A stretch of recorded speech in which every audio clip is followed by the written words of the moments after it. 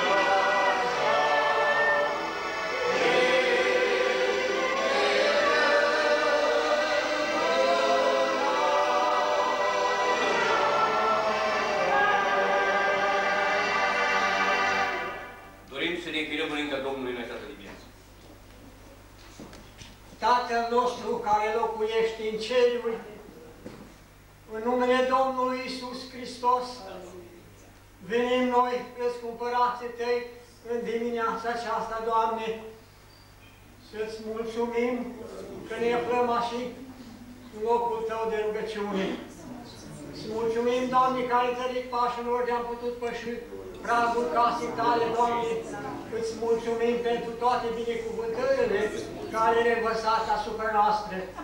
Și în dimineața aceasta, Doamne, noi te rugăm ca Tu să ne cercetezi ca fiecare. Să ne curățești, Doamne, inimile noastre de orice o să ne pregătești pentru a ne ruga Ție. Binecuvintează, Doamne, poara noastră de rugăciune din dimineața aceasta.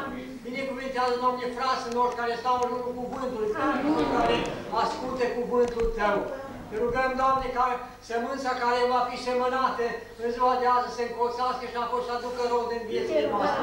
Ne binecuvintează, Doamne, ca toți în dimineața aceasta și ajută-ne, Doamne, ca să fim sărbii Tăi adevărați, aducând rod în viața noastră pe pământ. Ascultă-ne, Doamne, și în acum și în veci de veci. Amin. Amin. Așa cum stăm de apropiem de Cuvântul lui Dumnezeu în această dimineață, pe care dorim să-l citim ca îndemn la oră de rugăciune din Cartea Psalmilor, Psalmul numărul 84, pagina Bibliei 603. Prin ajutorul celui preanalt începem citirea cuvântului. Cât de plăcute sunt lăcașurile tale, Doamne, al oștirilor! Sufletul meu suspină și se înșepte de dor după curțile Domnului, inima și carnea mea strigă către Dumnezeu cel viu. Până și pasărea își găsește o casă acolo și renunica un cui unde își pune pui. Ah, altarele tale, Doamne, al oștirilor, împăratul meu și Dumnezeul meu. Ferice de cei ce locuiesc în casa ta, că cei tot mai pot să te laude. Ferice de cei ce spun tăria în tine, în a căror inimă locuiește încrederea. Când străbat aceștia valea plângerii, o prefacă într-un loc plin de izboară și ploaia timpurie o acopere cu binecuvântări. Ei merg din putere în putere și se înfățișează înaintea lui Dumnezeu în Sion. Doamne, Dumnezeul oștirilor, ascultă rugăciunea mea. Ia aminte, Dumnezeului Iacov. Tu care ești scutul nostru, vezi, Dumnezeule, și primește fața unsului tău. Căci mai mult face o zi în cursele tale decât o mie în altă parte. Eu vreau mai bine să stau în pragul casei Dumnezeului meu, decât să locuiesc în cortul răutății. Căci Domnul Dumnezeu este un soare și un scut, Domnul de îndurare și slavă și nu lipsește de niciun bine pe cei ce după viață fără prihană. Doamne al oștirilor, ferice de omul care se încrede în Tine. Amin. Amin. Să ocupăm locul și dăm slavă lui Dumnezeu, cântarea de la numărul 27. Fine inima plină de laudă mulțumire, ai săi fine numește înduratul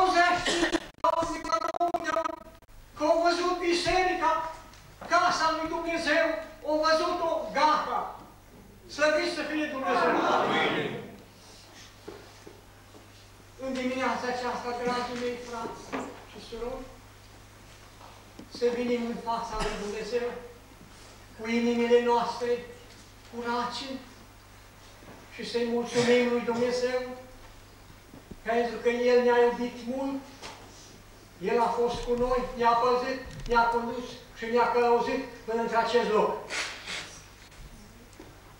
Să-i binecuvântăm numele Lui, pentru că El merită ca să fie binecuvântat de noi, pentru că noi suntem răscumpărații Lui, suntem ai Lui, El ne-a făcut după chipul și asemănarea Lui. Venim să-i mulțumim pentru că ne-a mântuit prin Domnul Isus Hristos și ne-a dat dreptul ca noi să ne unim cu Lui, cetățeni cu Sfinții, oameni din casa lui Dumnezeu. Îi mulțumim pentru toate în dimineața aceasta. Ne vom pune pe genunchi și fratele nostru să vă rugăm. Până se pregătește, cântăm cântarea de la numărul 31. Odea că aveau de timp o mie și mii de buze și cuvânt, pe toată cu armonie, spre slava celui purul sfânt.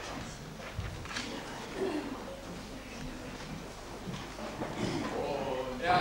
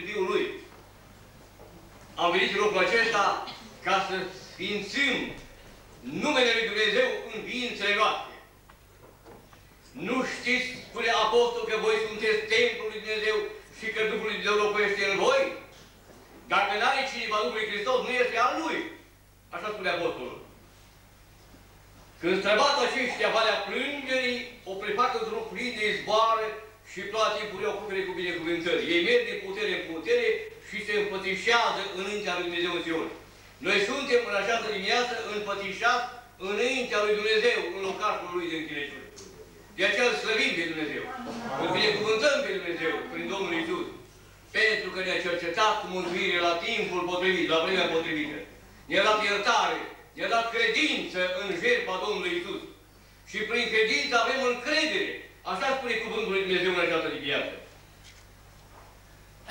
Doamne, Dumnezeu știrilor, ascultă rugăciunea mea.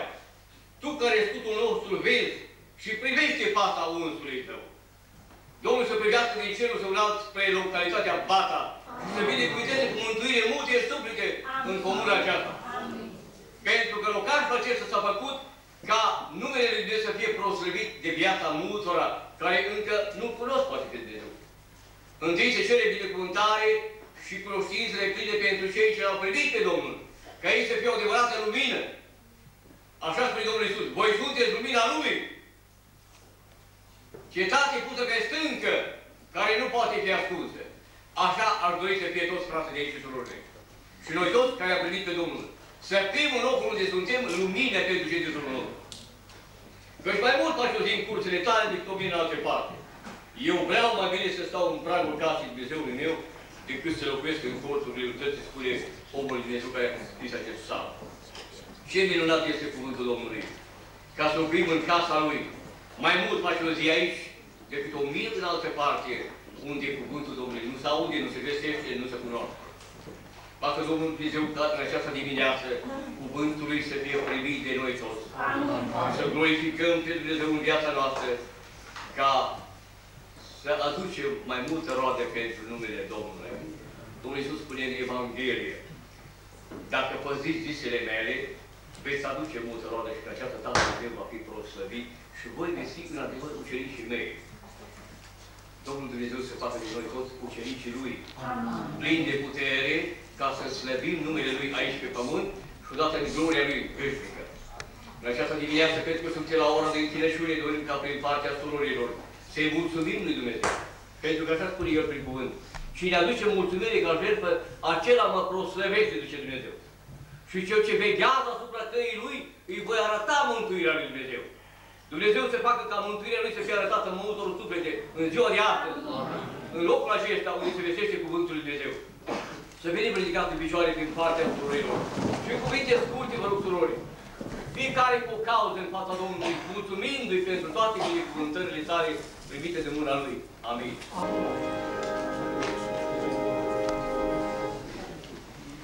Yeah.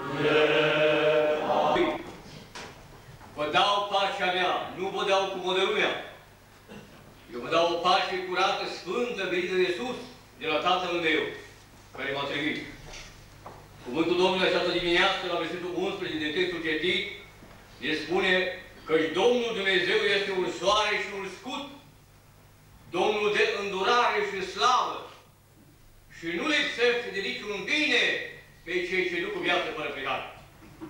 Domnul să ajute biserica Lui să ducă o viață fără prihană, o viață curată și în felul acesta să câștigăm suflete la Dumnezeu. Ca să avem o răsplată în ziua veșniciei. Când Domnul va veni în slavă, El a venit să cheme pe mulți fii la slavă.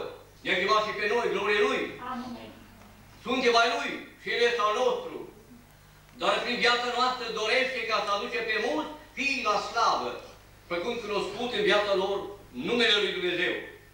Doamne al oștirilor, de omul care se încrede în Tine. Facă Duhul, Duhului Dumnezeu în această dimineață ca toți cei ce vor auzi Evanghelia lui Hristos Domnul să aibă încrederea aceasta în Dumnezeu. Să fie plin de încredere în El, că le va răsplăti viața veșnică din mâinile Lui. Cine dorește să primească pe Dumnezeu în viața Lui, cine îl caută pe Dumnezeu, îl va afla. Cuvântul Domnului spune în Vechiul Testament, Căutați-mă și mă veți găsi, zice Dumnezeu. Chemați-mă și voi fi aproape de voi. Dacă cineva îl cheau, caută pe Dumnezeu și îl cheamă pe Dumnezeu, El se va lăsa aflat și găsi de acel suflet. Facă Duhul Domnului care și dimineață, toți cei ce au venit în locul acesta și care vor mai veni să asculte Evanghelia, să-L afle pe Iisus Hristos ca Mântuitorul personal. Și în felul acesta să trăim cu toți o viață după voia lui Dumnezeu. Amin. Amin. Încheiem cu de rugăciune ridicată în picioare, cu rugăciunea dumneavoastră pe care Domnul Iisus Hristos a învățat pe ucenicii săi. Rugăciunea Tatăl nostru. Tatăl nostru care ești în ceruri, sfințească-se numele Tău, vie împărăția Ta, facă-se voia Ta, precum în ceruri, așa și pe pământ. Pâinea noastră cea de toate zilele, dă-ne nouă astăzi și ne iartă nouă greșalele noastre, precum și noi iertăm greșiților noștri și nu ne duce pre noi în ispită, și ne izbăvește de cel rău. Căci ta este împărăția și puterea și slava în veci. Amin. Să luăm lucruri. Oare rugăciunii prin ajutorul lui Dumnezeu a luat sfârșit din continuare va urma să ridice nechinate Domnului. să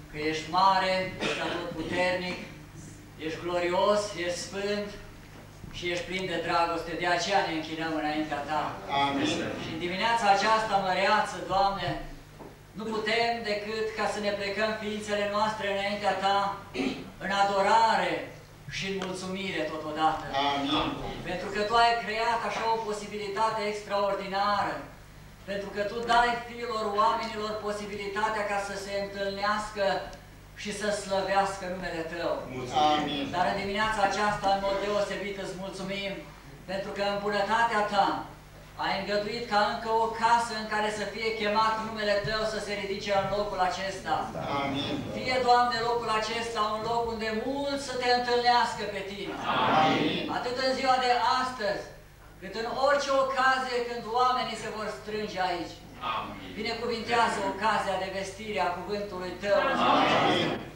Binecuvintează fiecare suflet care participă la această sărbătoare.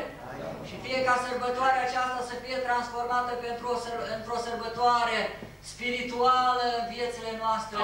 Amin. Într-o întâlnire cu Domnul nostru Isus Hristos. Amin. Într-o proslăvire a numelui Tău. Te rog, o Doamne, ca Tu să binecuvintezi localitatea aceasta. Prin prezența Duhului Tău cel Sfânt, prin prezența Cuvântului Tău, prin prezența multor slujitori ai Tăi în locul acesta, care să fie vrednici evangeliști, vrednici purtători ai Cuvântului Sfânt.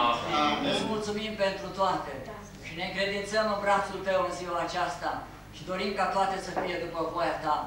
În numele Domnului Isus Hristos te rugăm toate acestea. Ascultă-ne și rămâi cu noi. Amin. Pătrunși de prezența lui Dumnezeu și pătrunși de măreția momentelor din dimineața aceasta, dorim să cântăm împreună și strofa a doua din aceeași cântare. Orice glas de heruvim se înalță către tine, îngerii ce te slujesc sus în zările senine, cântă, cântă neîncetat, fie Domnul lăudat. Amin.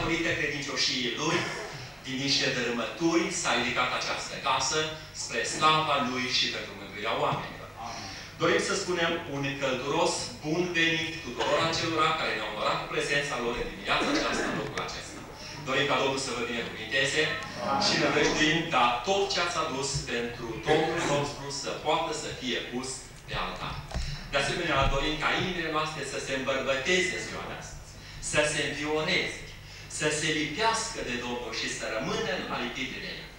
Dorim ca, de asemenea, cuvântul Său să fie o hrană pentru sufletele noastre dimineața aceasta și fiecare să poată să plece îndestulat de la casa Domnului, pentru că atunci când Dumnezeu dă, El dă cu mână largă întotdeauna.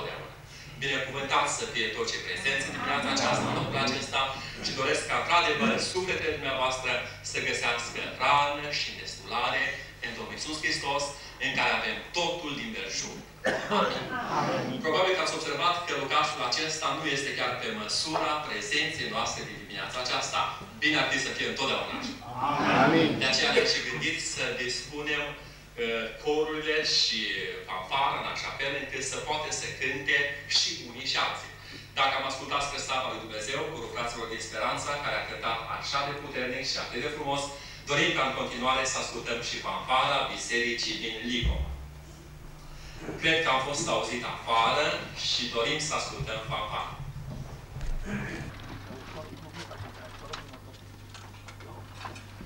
Thank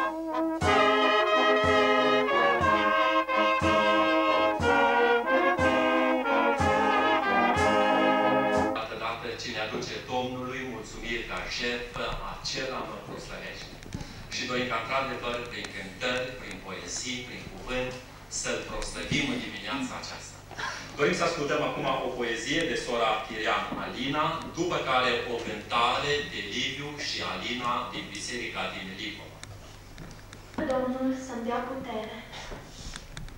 El a făcut din mine o ființă slabă, ca să învăț ce înseamnă modestia și smerenia.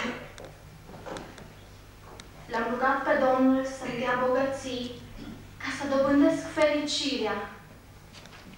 El m-a făcut săracă pentru a dobândi înțelepciunea. L-am rugat să-mi dea ajutor ca să pot face fapte mari. El a făcut din mine o ființă cu puțin curaj, ca să pot face fapte bune. Am dorit să am mulți prieteni, ca să simt că trăiesc. El a vrut să fiu mai mult timp singură, ca să meditez la suferințele Domnului Isus Hristos. L-am rugat să-mi dea toate lucrurile, ca să mă pot bucura de viață. El mi-a dat viața, ca să mă pot bucura de toate lucrurile. Și între toate ființele, sunt o ființă binecuvântată. N-am, n-am primit aproape nimic din ceea ce am cerut, dar am primit tot ce a trebuit să am. Amin. Amin. Am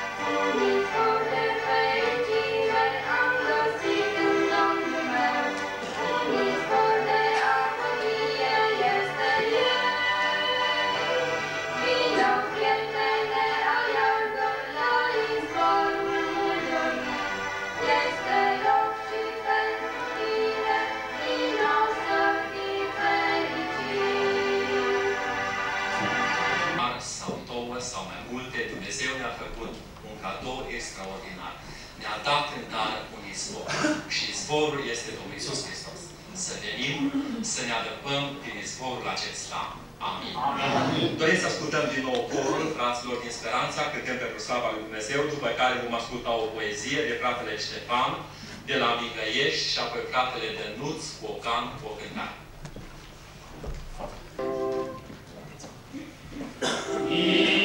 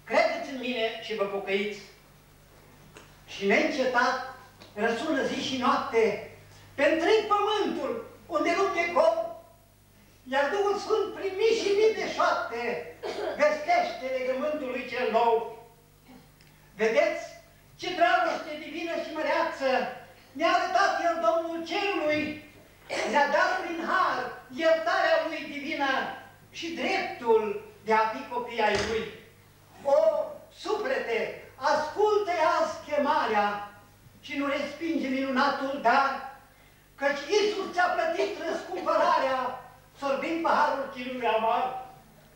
Ascultă-l pe cel ce-a plâns și lacrimi, de atâta timp te așteaptă ca să vii. El sus pe cruce, mistit de patim, ți-a pregătit eterne bucurii. Azi, ușa îndurării e deschisă, dar se va închide veșnic și în curând. Vei regreta chemarea lui respinsă, te vei topi în chinuri suspinând. O vino azi la el să-ți dea viața, să-ți dea belșugul ploilor târzii, ca în ziua anunții, în marea dimineață, să te întâlnești cu el în veșnicii. Amin.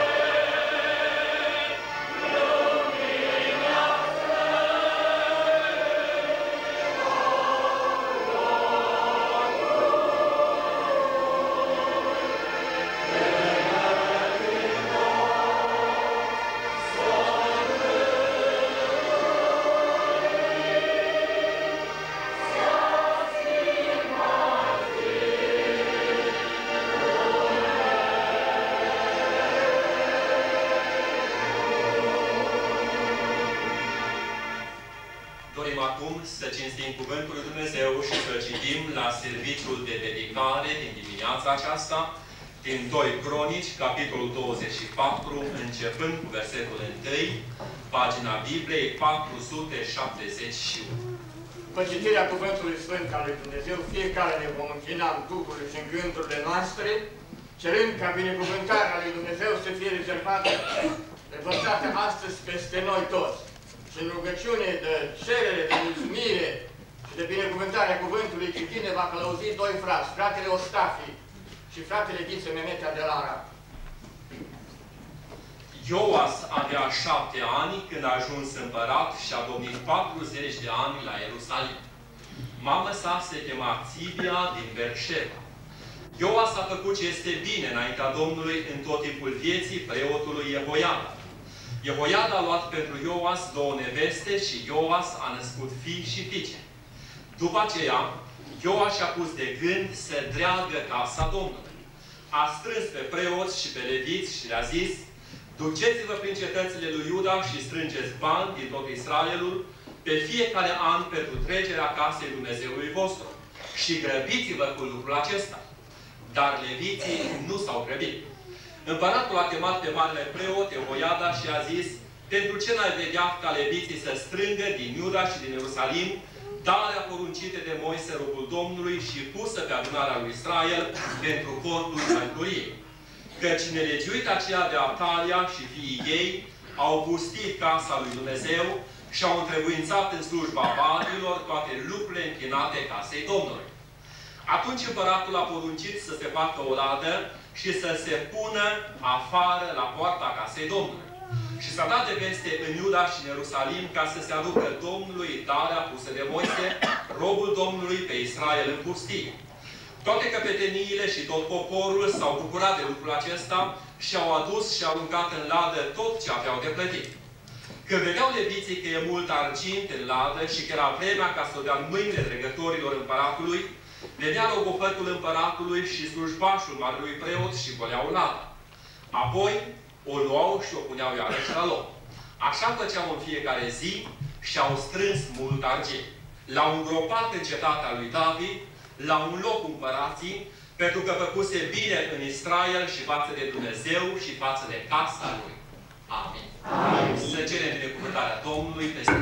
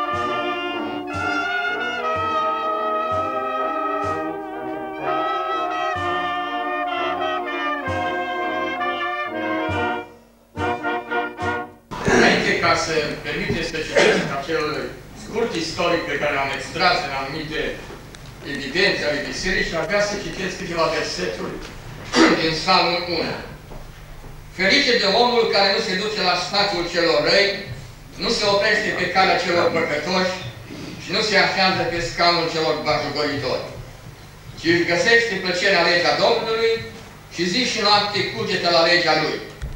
El este ca un pom sădit într-un izvor de apă, care își dă rodul la vremea Lui și ale cărui frunze nu se vestevesc. Tot ce începe, duce la bun sfârșit. Amin. Mulțumim lui Dumnezeu că lucrarea care s-a început cu aproape 2 ani de zile, ea astăzi este terminată. Și astăzi, începând de astăzi, ea nu va mai fi o clădire în construcție.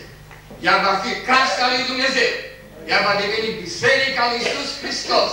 Locașul în care oamenii, oricine va fi, așa spune Sfânta Scriptură, oricine va chema în numele Domnului, va fi mântuit. Și astăzi, dacă ești aici prezent, poți să faci lucrul acesta. Dumnezeu să-ți ajute. Amin. Amin. Scurt istoric al Bisericii Creștine Baptiste, Baca între anii 1923-1992. Conform mărturisirilor primite de la frații bătrâni și din evidențele bisericii, rezultă că la 8 ani, după înființarea bisericii din localitatea la Lașinț, ea fiind Biserica Creștină Baptistă din Baca. Aceasta are loc în toamna anului 1923, când în urma misiunii fratelui Ina Ștefan cu întreaga biserică din Alafinț, se constituie grupul de credincioși care se adună în casa lui Jurj Eftimie, actualmente situată la numărul 125. În anul următor, 1924, în a doua zi de Lusari, la râul Mureș, se oficiază primul botez în această localitate nou testamentar de către fratele Covaci Ion din Sintești, cu 26 de persoane, toți din Baca. În această vreme, lucrarea Domnului merge cu pași îmbucurători. Biserica devine o citadelă sfântă vizitată de tot mai mult popor din această comună. Pe aici trec unii dintre primii pionieri ai Evangheliei, dintre care amintim următorii. Cornea Mihai, Mârza Ilie, Munteanu Petru, Gheorghe Mihai. În anul 1926, Biserica Creștină Baptistă din Bata număra 60 de membri. Până la această dată, serviciile religioase țineau în casa fratelui Jurge Timie. Îndemnul hotărător pentru construirea unei case de rugăciune pare ciudat prin originea lui. El pornește de la numitul Pența, prin Petru Plasie Virgis, care le-a spus unui delegații aflate la sediul numitei preturi pentru dezbaterea unor probleme juridice. Voi sunteți mulți, faceți-vă o casă de rugăciune, în case particulare nu vă mai las. Delegația prezintă propunerea bisericii care aprobă construirea unei case de rugăciune. Notarul comunii Ioachim Sasu eliberează autorizația de construcție lui Jurge Timie. Bineînțeles că mă dați seama că nu e vorba de mine, de bunicul. Clădirea a început a fi construită de frații meșteri Jurge Timie, Todelici Safrone, Jurma Simion, prietenul Cocan Arcadie. Lucrările durează până în toamna târziu anul 1927, cu ocazia sărbătoririi nașterii Domnului, având loc inaugurarea casei de rugăciune. În anul 1930, trecând pe aici ca misionar Ion Cocus, îndeamnă pe membrii bisericii să cumpere instrumente pentru fanfare și primul dirijor instructor fiind fratele Centia Ioan din Buteri. În urma lui rămân ca dirijor instruiți fratele Cisma Ioan și Jurj Iosif. Organizarea bisericii. Organizația în conducerea bisericii sunt cunoscute următoarele funcții. Lucrătorul cercului, care are mai multe biserici din împrejurim. El era numit sau ales de cercul lucrătorilor. Cercul lucrătorilor mai întâi a avut sediul în localitatea la Lașinț, apoi Sântești și mai la urmă la Ungoș. Pentru biserica din Bacă la acea vreme este ales ca lucrător fratele de ea Pavel, care avea și bisericile din împrejurim, în care lucrau. Apoi urmau a fi aleși la ședința la început de an conducătorii de adunare, între care amintim fratele Miculescu Iulus și fratele de ea Victor. În anul 1950, după apariția noului statut, se introduce nouă metodă de organizare, cu această ocazie fiind ordinat ca pastor local fratele Chisma și Ioan, care activase înainte ca dirijor de cor și fanfare, care după o perioadă scurtă este destituit din această funcție și în perioada următoare biserica din Bata era păstorită de mai mulți păstori, printre care amintim câțiva. Fratele Cipuliță Ioan, fratele Andraș Gheorghe, fratele Hervei Ioan, fratele Iacob Iosif, care a avut cea mai lungă perioadă de pastorat al acestei biserici, activând până la pensionare. După care a fost preluată această lucrare a Domnului de către fratele păstor Marcu Lazar, care este și în prezent, Domnul să-l binecuvinteze. Amin. Referitor la cor și fanfare care a funcționat în această perioadă, menționăm faptul că mulți dintre frați surori au plecat în veșnicie, apoi venind perioada colectivizării, mulți dintre tineri au plecat la orașe, numărul membrilor era tot mai mic, corul și fanfara a încetat activitatea. Referitor la vechiul local, odată cu scurgerea anilor, clădirea se degrada tot mai mult. Deși s-au făcut mai multe reparații, printre care amintim reparația generală din anul 1980, iar în 1981 s-a confecționat mobilierul, băncile care unii stați pe ele, care este și astăzi în nou local. La executarea mobilierului, o contribuție importantă a avut fratele Dobrean Cuzman, care a plecat în veșnicii. Fiind meseriaș, a construit mobilierul, fiind ajutat de alți frați. Reparațiile efectuate la vechiul local nu a dat rezultatul dorit, pentru că clădirea era veche. La insistența fratelui Cadarion, care a plecat și el în veșnicie la data de 23 august 1990, este scos mobilierul, iar în aceea lună, la 31, a început demolarea clădirii. E o coincidență foarte frumoasă și plăcută că suntem încă în august, după 2 ani. Lucrările nu au fost ușoare. Cu un număr mic de frați și surori bătrâni, aici vreau să fac o paranteză.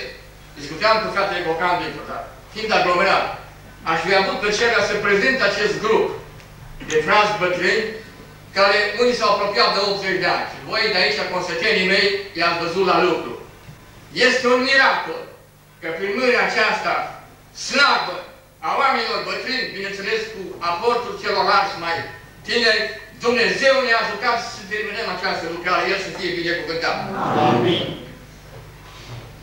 Lucrările nu au fost ușoare. Un număr mic de frați și surori bătrâni, fratele Cocan Victor, care aveți aici, care a condus și executat lucrările, ajutat și de alți frați, care deși sunt membri în alte biserici, ca frații din Arad, din Lipova și unii frați cu familiile lor care au fost cândva membri ai acestei biserici, au ajutat fizic și financiar.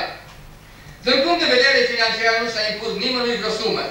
Fiecare a donat după cum a crezut de cuvință. Am fost sprijiniți financiar de un număr mare de biserici. Domnul să le binecuvinteze pe toate. Amin. Număr mare de biserici din împrejurim. N-am dat nume pentru că sunt foarte multe. Mă refer la împrejurim, deci biserică aproape din județul nostru sau județele Mărtinat. Și totodată de către unii frați plecați în Statele Unite ale Americii, ca familia de ea Chestimie, care a avut o contribuție foarte importantă, nu dau cifre, care a contribuit în bani și valute. Apoi Jurma Irimie, care ne-a dăruit și el bani atunci când a venit în America. Sora Tatiana Paul, fratea, fata fratelui Faul, care a plecat și în America și a contribuit cu valută la această lucrare. Tuturor celor care au contribuit fizic și financiar le mulțumim în numele Domnului Isus Hristos, ca El să le răspătească din bogățiile sale. Mulțumim în numele Domnului Isus Hristos sărtenilor noștri, autorităților din Comuna Bata, care ne-au ajutat și sprijinit. Mulțumim și familiei Rachițane și Chimie, care le-am găduit ca pe timpul lucrărilor să oficiem serviciile religioase în casa lor. Domnul să le răsplătească. Amin. Pe timpul lucrărilor, când frații au fost solicitați, au răspuns prezent. Iar în mod deosebit cu prezența permanentă a fost fratele Diacon Cocan Victor, conducătorul lucrării, aproape întotdeauna însoțit la lucrări, a participat fratele Jurma Eftimie, Han de Eftimie, oameni aproape de 80 de ani, și Dobrean Maria. Dumnezeu le va răsplăti în mod deosebit. Amin. Dar mai presus de toate, toate mulțumirile se cuvin lui Dumnezeu, care ne-a ajutat să terminăm această lucrare. Ne-a binecuvântat cu sănătate și cu înțelepciune și noi astăzi închinem această lucrare lui Dumnezeu și rugăm ca prezența Lui și a Domnului nostru Isus Hristos prin Duhul Sfânt să fie permanent în acest loc. Și oricine va intra aici, chemând numele Domnului, să fie mântuit, iertat de păcatele sale, prin sângele Domnului Isus Hristos de la Calvar. A Lui să fie slava în vecii vecilor. Amin. Amin.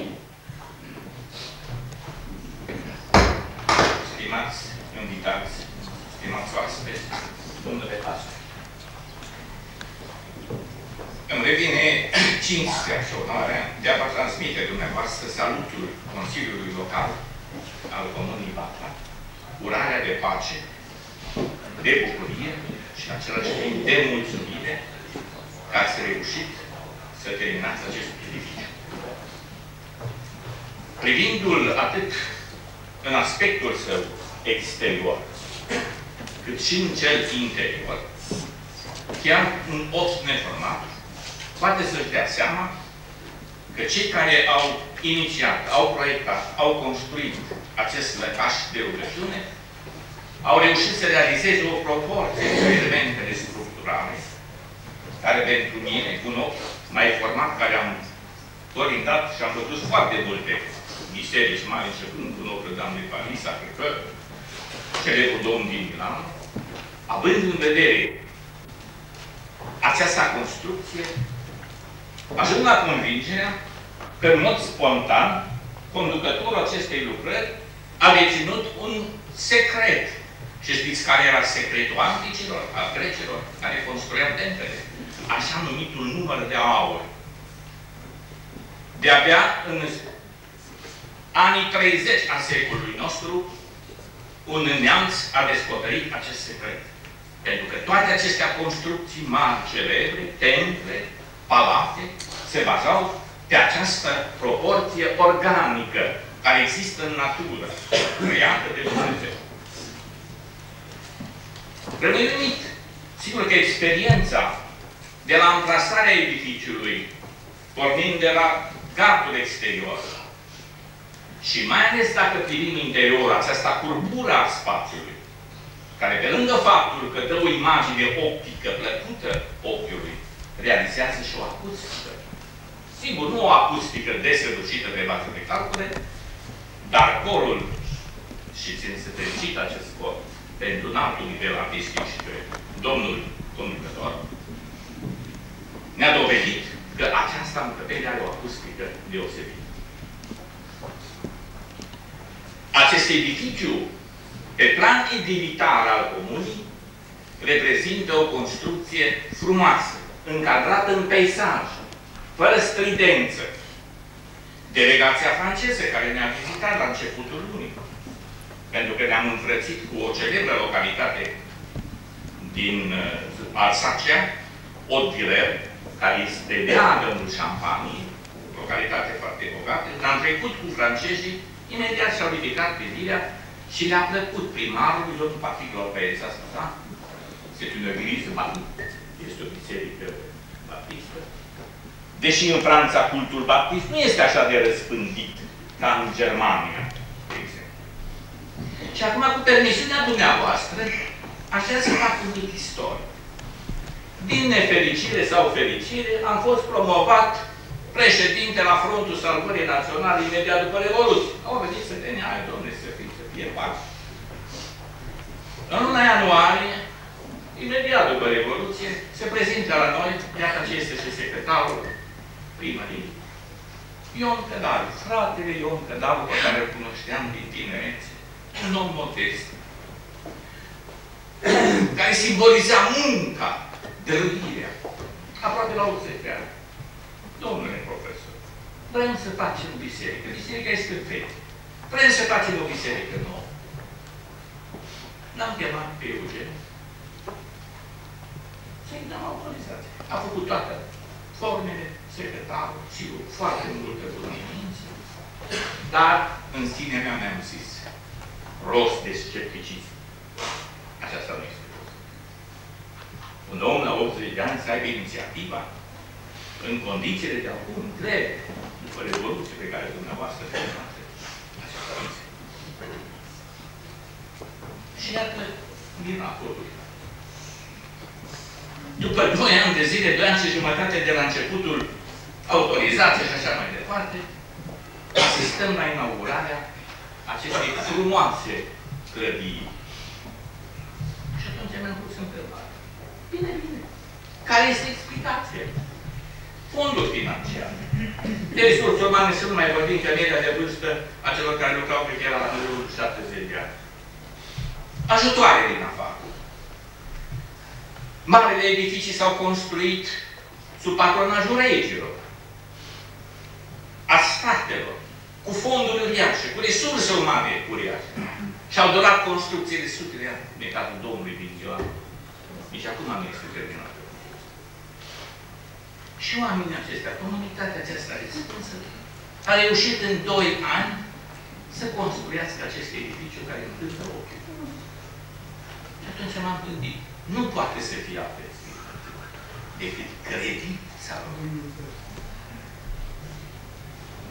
Și ne-am adus aminte și rog pe domnul pastor dacă cumva greșesc, memoria mă așa, la celebrul vers reprodus de Evanghelistul Ioan în disputa pe care Hristos a avut-o cu învățatul Nicodem. Fiindcă atât de mult a iubit Dumnezeu lumea, încât oricine crede în El să nu piară, ci să aibă viață veșnică. Credința. Cum spunea și Coșbu în ceva lui poezie în moartea lui Fulger. Credința în zile de apoi singura tărie în noi.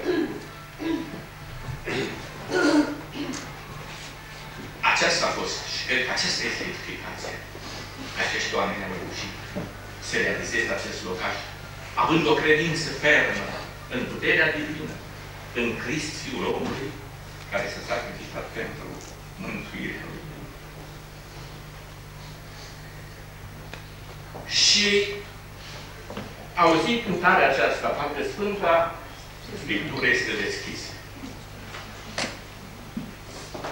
Filozoful român Constantin Noica făcea următoarea observație. Care este explicația și miracolul că această carte, care este tradusă de atâtea limbi, are un farmec deosebit. Spre deosebire de alte capodopere ale, ale literaturii, care prin traducere suferă. Nu poate fi redat Faustul Goethe în limba română la înălțimea originală. Eminescu este aproape intraductibil în limba franceză. Și totuși, tradus în atâtea limbi. Și atunci am gândit. Explicația este că Logosul este întrupat în această carte. Inspirația divină. Pentru că vedeți ce frumos este tradus în limba. Am în bibliotecă prima traducere, Biblia lui Șerban Cantacuzină, în limba veche, de o savoare, de o frumusețe extraordinară. Permiteți-mi ca să aduc felicitări celor care s-au străduit, dumneavoastră invitaților care ați onorat acest moment festiv din viața acestei mici comunități. Mulțumirile și sper că o să vă simțiți bine în această ambianță sărbătorească. Vă mulțumesc pentru atenție. Amin. Minunat, binevenit și plin de căltură a fost acest cuvânt al domnului profesor Deac de încurajare, de îmbărbătare, de apreciere pentru noi toți. Ține-se mulțumiri pentru cuvântul acesta. Dânsul s-a referit la acustica acestei sete. Cei ce citiți Cuvântul Dumnezeu, vă aduceți aminte că atunci când poporul Dumnezeu mergea spre țara promisă și a intrat în țara promisă, în țara aceea era un loc special între muntele Bal și muntele Galizim, în muntele Bal și muntele Galizim, de unde se spuneau binecuvântări și blestem. Savanții de astăzi au constatat că se pare că în lume există doar patru locuri cu o acustică desăvârșită, perfectă. Unul din aceste locuri a fost locul acela din Canaan, unde Dumnezeu a chemat pe poporul său ca să rostească binecuvântări. Chiar dacă din punct de vedere sonor nu va fi o acustică desăvârșită, dorim ca din punct de vedere spiritual să fie o acustică desăvârșită. Rugăciune să fie înălțată la tronul de har și de milă al Tatălui. Dorim să ascultăm acum pe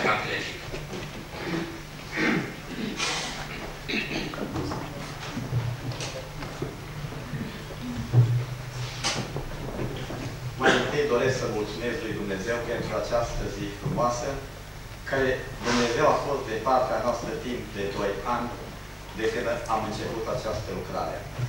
de cele ce a spus și fratele Jurge în istoricul bisericii, mâine, 31 august, să împlinesc 2 ani când am demolat această veche clădire.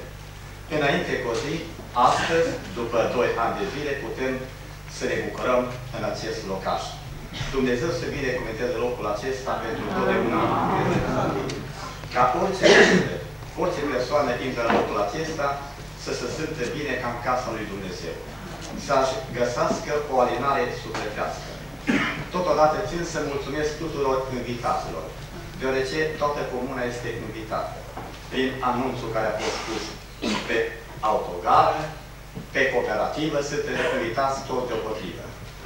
Mulțumim și tuturor fraților noștri din bisericile din județul Timiș, Arad și Hunedoara, care au fost invitați poate sunt mulți afară, le dorim multă pace și binecuvântare.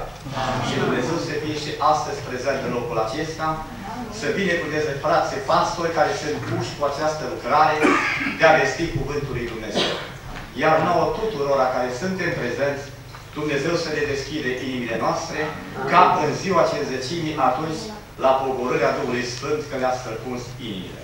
Mulțumesc lui Dumnezeu pentru că în această lucrare am fost ajutați de mai multe biserici, așa cum a fost amintit. Mulțumesc și fraților din această biserică care, care au fost alături de mine. Spuneau mulți din această localitate, ziceau așa, dacă nu erai tu, această biserică nu se făcea. Dacă nu eram eu, era altul. Dumnezeu a pregătit din timp locul acesta ca să se construiască această lucrare. Prin frați bătrâni, prin noi, care au fost ajutați și de fratele Arad Speranța, care o, care o parte sunt prezenți împreună cu noi, care de multe ori și în multe rânduri au fost alături de noi, cu muncile lor fizice, bănești din alte părți, am construit această biserică, în care astăzi suntem prezenți. Totodată țin să mulțumesc și autorităților comune, care sunt prezente în mijlocul nostru. Domnului profesor Dea, care a prezentat această frumoasă mărturisire despre această localitate. Domnului secretar care este în mijlocul nostru. Consider că după masă, consider că va fi și domnul primar acestei comune. Dânsul de data aceasta, la această oare, consider că este la slujbă religioasă. Domnul primar este preotul Bisericii Ortodoxe din localitatea Săla. Domnul să-l binecuvinteze și acolo lucrarea aceea și totodată să-l binecuvinteze și lucrarea de conducere a acestei comuni. Ca să mergem înainte, să nu dăm înapoi. Să ne simțim bine cu toții ca creștini și ca copii al lui Dumnezeu, oriunde ne întâlnim, să ne simțim bine că suntem cetățeni, suntem cetățeni acestei țări, acestei comune. Totodată țin să mulțumesc și fraților noștri din Arad Speranța, care sunt în mijlocul nostru cu corul bărbătesc și fanfara. Totodată țin să mulțumesc și fraților din Nicova care sunt afară cu fanfara, care majoritatea timpului meu în ultimii 10 ani sunt alături de ei în acea biserică baptistă. De aceea, în ziua de astăzi, dânsii sunt alături de noi. Vă mulțumesc la toți care în ziua de astăzi sunteți prezenți în locul acesta să vă simțiți bine ca în casa lui Dumnezeu. Dumnezeu să fie cu noi cu toți, cât trăim pe acest pământ. Îmi pare foarte rău că în această zi, la această sărbare mare de inaugurare, de deschidere a bisericii, acela care a fost autorul, acela care ne-a îndemnat să construim această lucrare frumoasă, nu este în mijlocul nostru. Fratele Cadarion, care a fost citit în istorie. Îmi amintesc că după Revoluție, imediat în anul 90, prin luna ianuarie, cam prin 15-20, îmi pune o întrebare. Frate Victore, am să discut ceva cu tine. Când m-a spus acest cuvânt, am știut inițiativa dânsului. Mai la o parte, împreună cu Comitetul Bisericii, spunea așa, frate Victore, am ceva. Dar tu dacă zici nu, nu va rămânea. Uite ce m-am propus în gând, din partea lui Dumnezeu. Acum este timpul, este momentul ca să construim această biserică. Dar acum depinde de tine. Știu că este greu pentru tine, pentru că eu făceam serviciu în localitatea Lipova în Băi. Și am spus așa, dacă dumneavoastră, oameni bătrâni, puteți și doriți și aveți această dragoste, nu mă retrag înapoi. Zis și făcut în aceea seară casa fratelui Jurma Eftimie, s-a luat hotărârea și așa cum a spus și frat, domnul profesor de ea, Fratele Ioan Cadare a mers la autoritățile comune, a cerut acele acte și lucrarea s-a început. Dumnezeu să fie cu noi mai departe, să ne călăuzească pe calea plăcută Lui și dorim ca și în continuare să veniți alături de noi, să vizitați această biserică, așa micuță, modestă cum este, să fiți alături de noi, să ne putem bucura ca creștini și ca urmași al lui Dumnezeu. Dumnezeu să ne binecuvânteze pe toți, deopotrivă. Amin. Amin. Negreșit că aceste momente sunt pline de semnificație și înălțătoare pentru fiecare dintre noi. Și dorim ca în aceste momente să venim înaintea Domnului și să ne închinăm înaintea Lui, să ne rugăm, să cerem binecuvântarea Lui peste locul acesta și peste orice serviciu care se va desfășura în locul acesta. Haideți să ne aducem aminte de cuvintele pe care Împăratul Solomon le-a spus altă dată.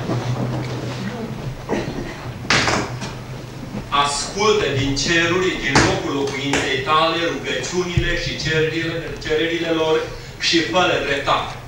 Iartă poporului tău păcatele lui și toate fără de legile făcute împotriva ta. Trezește mila celor ce vor ține rob ca să se îndure de ei. Căci sunt poporul tău și moștenirea ta și tu i-ai scos din Egipt, din mijlocul unui cuptor de fier. Ochii tăi să fie deschiși la cererea robului tău și la cererea poporului tău Israel, ca să-i asculți în tot ce îți vor cere. Amin. Amin. Dorim să venim acum în rugăciune înaintea Domnului și să cerem binecuvântarea Lui și numele Lui peste locul acesta. Să rugăm ca întotdeauna aici să fie deschis o ușă de Evanghelie și o posibilitate ca oamenii să se apropie de Dumnezeu. În aceste rugăciuni, în această rugăciune dorim să fim conduși de fratele Argentin Cătană, fratele Victor Cocan, sora Tămaș, dacă este prezentă, și o soră din loc. Să ne închinăm înaintea lor. Tatăl nostru care locuiește în înălțimile cerului, venim plin de recunoștință în fața Ta, Doamne, să-ți mulțumim în mod deosebit pentru locașul acesta, Mulțumim. pentru înaintașii noștri care s-au luptat pentru locul Mulțumim acesta, pentru el. pentru aceia care s-au ostenit prin aprobări de autorizații, Mulțumim. pentru aceia care au lucrat zi și noapte aici spre lauda, spre onoarea numelui Tău, pentru porunca Ta care ai lăsat-o pe pământul acesta, că vrei să ai un locaș de închinăciune pentru Tine și pentru numele Tău, unde oamenii să vină cu păcatele la crucea Ta, să le pună la poala crucii Tale. Și Tu să le ierți, Doamne. Nu este niciun loc pe pământul acesta mai scump ca și locașul de închinăciune, despre care spuneau înaintașii, cât de plăcute sunt locașurile Tale, Doamne, mai bine o mie de zile aici decât al aiurea. Doamne, îți mulțumim pentru cuvântul Tău, Doamne. Mulțumim. Te rugăm prin binecuvântările Tale, cerești, Doamne. Revarsă-ți harul Tău și binecuvântarea Ta peste locașul acesta, Amin. peste comuna aceasta, Amin. peste autoritățile din această Te rugăm. comună, Doamne, Amin. și peste țara întreagă și peste lumea întreagă, Doamne. Harul Tău, Doamne, care încă mai ai ușa Harului deschisă, te rugăm, Doamne, cheamă pe oameni pe nume la Tine, Doamne. Amin. Doresc ca niciunul, Doamne, care a pășit pragul casei Tale în dimineața aceasta, să nu plece până nu s-a întâlnit cu Tine, Doamne. Amin. Arăt omenii că sunt păcătoși, că au nevoie de Tine și de iertarea Ta, Doamne. Și încă sângele Domnului Iisus Hristos mai are putere, Doamne. În numele și pentru meritul Fiului Tău Iisus Hristos, te rugăm, ascultă-ne, Doamne. Rămâi alături de noi, Doamne. În vremurile din urmă, care ai prorocit că vor fi zile grele, Doamne. În zilele acestea grele rămâi alături de poporul Amin. Tău, Doamne. Fie slăvit și binecuvântat numele Tău, de Tată, Fiu și Duh Sfânt de acum și până în veci de veci. Amin. Amin. Doamne Dumnezeul nostru mare și sfânt care ești în cer, în această dimineață dorim să ne închinăm în fața Ta și în fața puterii Tale Da, Doamne. și să-ți mulțumim, O Doamne, că ai fost alături de noi în această lucrare. Mulțumim. Îți mulțumim, O Doamne, că ne-ai dat putere și ne-ai dat sănătate. Și îți mulțumim că în acest timp, O Doamne, nu am dat înapoi. Mulțumim. Îți mulțumim, O Doamne, că Tu ești acela care ești ieri, azi și în veci.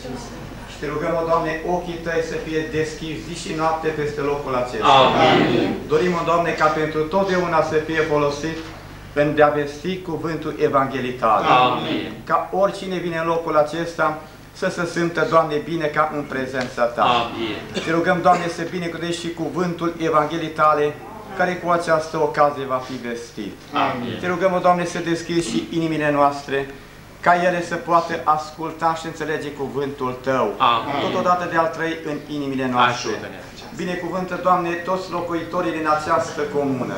Amin. Te rugăm, Doamne, să-i binecuvintezi. Amin. Să ne ajută, Doamne, ca cu toții să trăim ca copii ai Tăi. Amin. Binecuvintează, Doamne, și pe frații care ai pus să vestească cuvântul Tău. Amin. Îmbracă-i puterea Duhului Sfânt, ca să poate vesti cuvântul Tău fiecărui după necesitățile Lui. Amin. Binecuvintează, Doamne, și formațiile care sunt alături de noi. Amin. Care dau slavă numelui Tău. Te rugăm. Care putem să ne bucurăm, o Doamne, în această zi, la auză acestor cuvinte minunate. Te rugăm, o Doamne, să binecuvintezi pe toți care ar dori să vină în locul acesta și nu au putut să vină. Amin. Binecuvintează, Te Doamne, rugăm. toate bisericile care sunt prezente aici. Amin. Binecuvintează și restul din ei care nu au putut să vină. Te rugăm. Și toate acestea, Doamne, cere în numele Domnului Iisus Hristos să rămâni cu noi, să rămâni în noi până la ta venire și până vom pleca de pe acest pământ. Amin. Amin.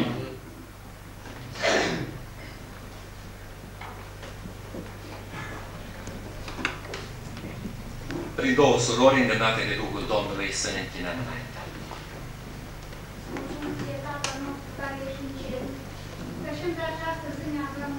Te stătim, Doamne, și zi. Mulțumesc. Doamne, să știm că fără de Tine nu putem face nimic.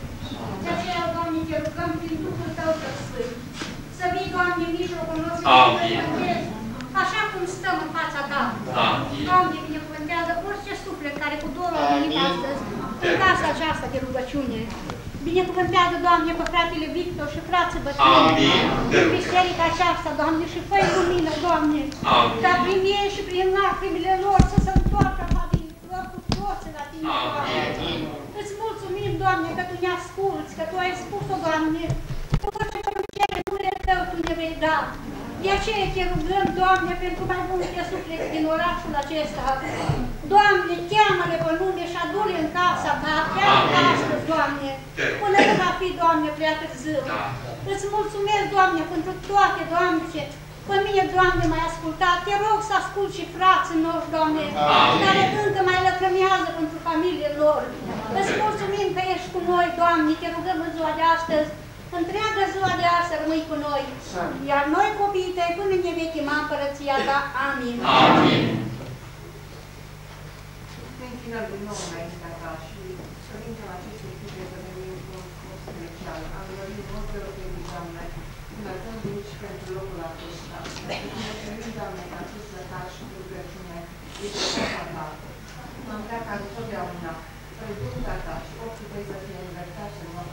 Amin. Amin.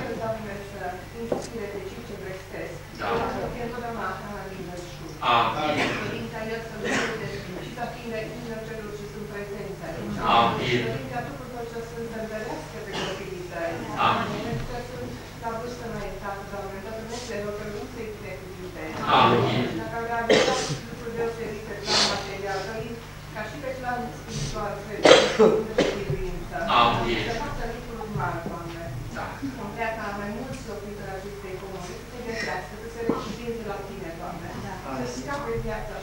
Și să-și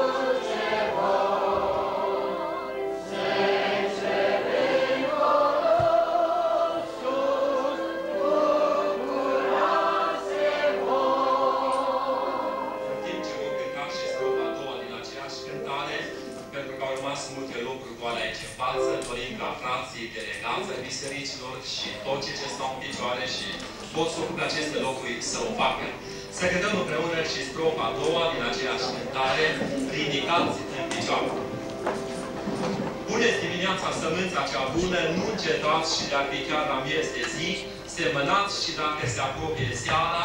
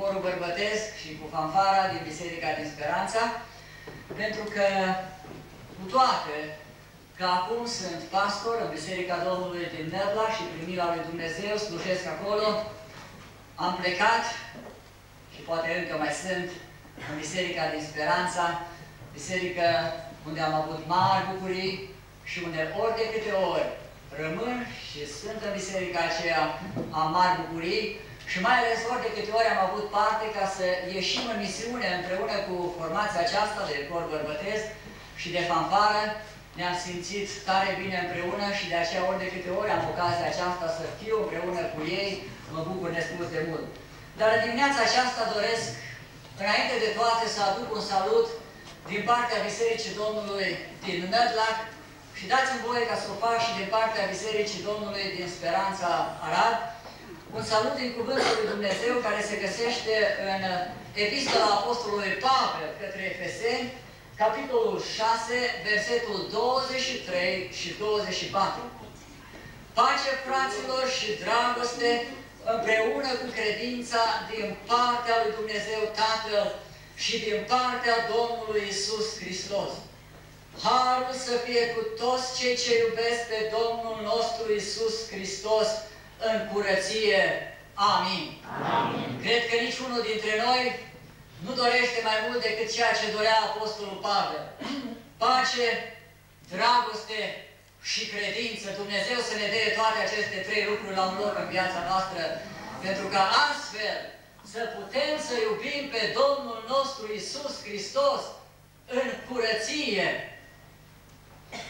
Și pentru că suntem la sărbătoarea aceasta deosebită, când în condiții, așa cum spuneau cei care au vorbit înaintea mea, în condiții aproape incredibile din punct de vedere omenesc, clădirea aceasta totul s-a ridicat Aș dori să citesc câteva versete care ne arată un alt final de construcție care ne proiectează mult înapoi în istorie și când și atunci acea construcție părea aproape incredibil de realizat pentru cei din vremea de atunci și totuși, pentru că ea a fost realizată pentru slava și gloria lui Dumnezeu, ea a avut loc, a fost terminată și versetele pe care doresc să le citesc reprezintă exact sărbătoarea pe care oamenii aceia au avut-o așa cum noi o avem astăzi. Aș dori să deschideți Cartea Sfântă Biblia împreună cu mine în Cartea Esra, la capitolul 6, și vom citi câteva versete, începând cu versetul 14, pagina în Biblie 492. Și bătrânii iudeilor au zidit cu izbândă, după prorocire prorocului Hagan și ale lui Zaharia, fiului Ido, au zidit și au isprăvit după porunca Dumnezeului lui Israel și după porunca lui Cir, lui Dariu și lui Artaxerse, împăratul Perșilor. Casa a fost isprăvită în ziua a treia a lunii Adar, în al șaselea an al domniei împăratului Dariu. Copiii lui Israel, preoții și leviții și ceilalți vii ai robiei au făcut cu bucurie sfințirea acestei case a lui Dumnezeu. Împrejurarea istorică despre care este vorba aici este că atunci când poporul Israel a început să fie eliberat din robia babiloniană, s-au întors înapoi în Israel, s-au întors înapoi la Ierusalim și au dorit cu tot din adinsul să reconstruiască. Ceea ce odată era grandios, ceea ce odată era măreț, ceea ce odată construise Solomon într-o grandoare extraordinar de mare, dar care, datorită împrejurărilor necredinței poporului, a trebuit încet, încet să fie distrus, poporul a fost dus în robie, dar de acolo din robie, copiii lui Israel au strigat către Dumnezeu. Și Dumnezeu, datorită faptului că ei s-au căit de tot răul pe care îl făcuseră, s-a îndurat de ei, i-a adus înapoi în Israel și mai mult decât atât, printr-o mână de oameni. Și ascultați cum erau oamenii aceștia. În versetul 14. Și bătrânii iudeilor, o mână de oameni au venit din captivitate și majoritatea dintre ei erau bătrâni. Și totuși prin acea mână de oameni Dumnezeu a îngăduit să se refacă templul din Ierusalim și acolo din nou să fie chemat numele Domnului. Câtă asemănare! Câte asemănare între momentele acelea de atunci și momentele pe care noi le trăim astăzi. Au fost vremuri de tristă robie pentru noi, pentru toți românii care trăim în țara aceasta. Au fost vremuri în care casele de rugăciune nu numai că nu au fost permise ca să se ridice, dar și cele care au fost au trebuit să fie demolate, mare parte dintre ele. A fost o robie în care oamenii au gemut și au dorit și s-au rugat mulți dintre ei ca să aibă un loc, ca să aibă un acoperiș, unde să vină și să cheme numele lui Dumnezeu. Și este atât de mare binecuvântare că Dumnezeu a ascultat rugăciunile oamenilor și sunt convins că ceea ce vedem astăzi aici, mai mult decât orice, este un răspuns la multe rugăciuni și la multe suspine care au ieșit poate din niște piepturi simple, dar din niște credințe mari și sincere înaintea lui Dumnezeu. Și iată ce face Dumnezeu atunci când oamenii se întorc cu credință și cu dorință sinceră înspre El. El dă izbândă. Și casa aceasta de rugăciune, casa aceasta a lui Dumnezeu, este un răspuns la rugăciune, dragii mei.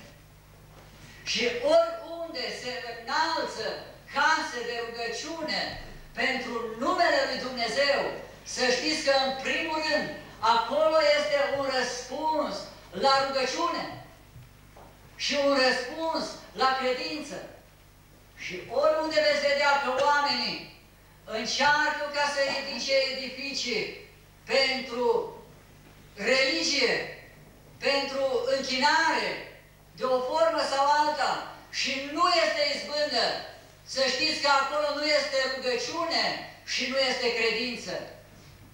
Dar haideți ca în dimineața aceasta cu toții să ne rugăm și să avem credință că Dumnezeu va da biruință ca multe case de închinăciune să se ridice în țara aceasta, pentru că de acestea avem nevoie, frații mei. În vremuri ca acum, de acestea avem nevoie. De locuri unde oamenii să cheme numele Lui Dumnezeu, să se plece în rugăciune. Și mă bucur atât de mult că primul serviciu care a avut loc în casa aceasta, în dimineața aceasta, a fost un serviciu de rugăciune. A fost o oră de rugăciune. A fost o oră în care oamenii au venit înaintea lui Dumnezeu. Și în primul rând, casele acestea care se construiesc pentru Dumnezeu trebuie să fie case de rugăciune. În astfel de case venim în primul rând ca să-L întâlnim pe Dumnezeu. Ori de câte ori se ridică o astfel de casă de închinăciune și prezența unei case de închinăciune înseamnă și simbolizează în primul rând prezența lui Dumnezeu în mijlocul poporului.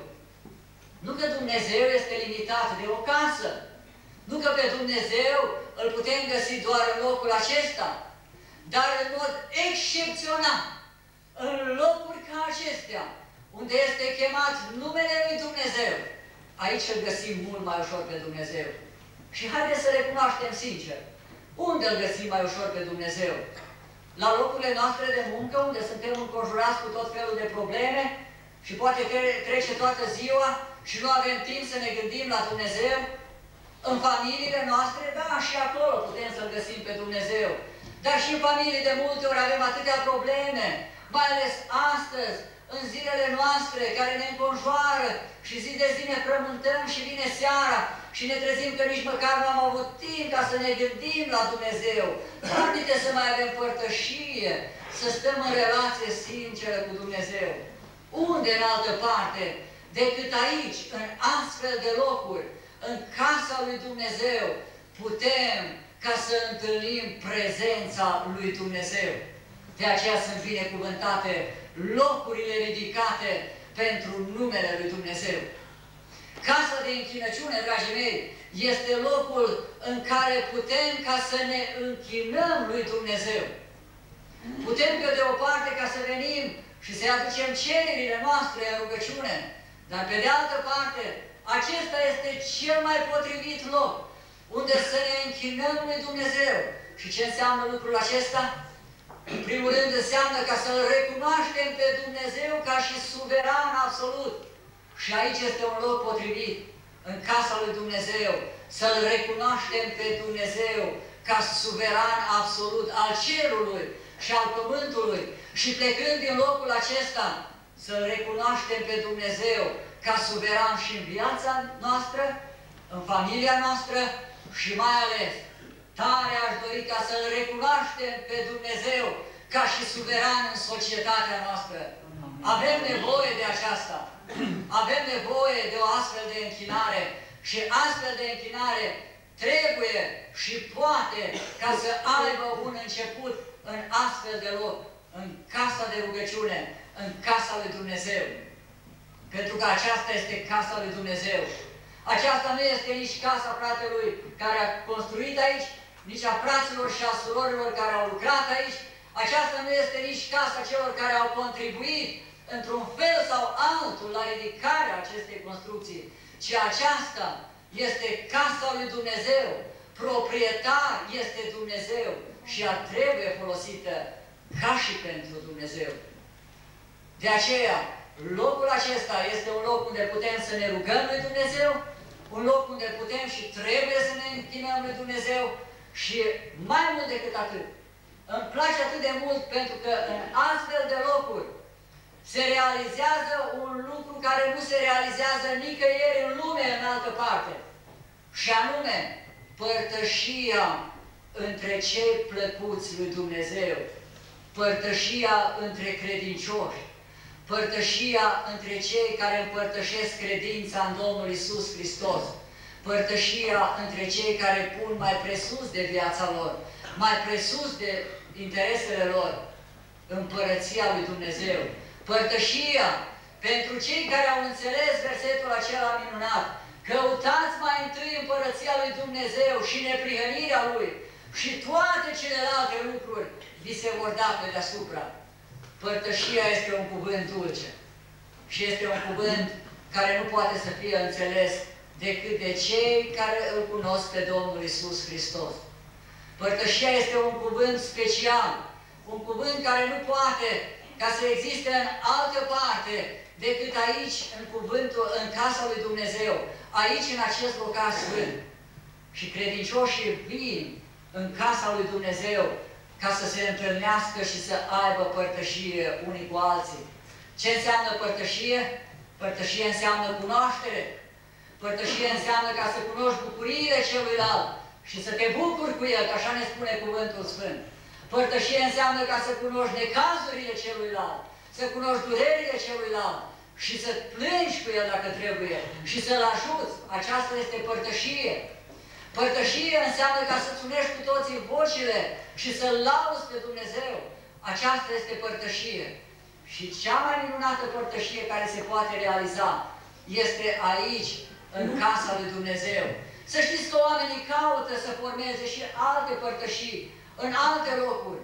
Și sunt atâtea locuri unde oamenii încearcă ca să se adune împreună. Numai că niciodată în locurile acelea nu se realizează părtășie.